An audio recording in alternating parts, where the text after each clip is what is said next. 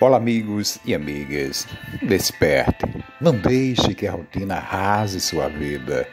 Execute sua tarefa com amor sempre renovado, porque isso trará alegria a você mesmo. A rotina cansa e corrói a alma, desalenta e carcome entusiasmo. Renove a cada manhã seu armazenamento de alegria de viver.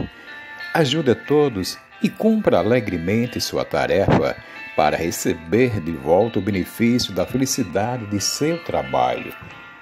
Você acabou de ouvir Minuto de Sabedoria com radialista e mestre de cerimônias Everton Guedes.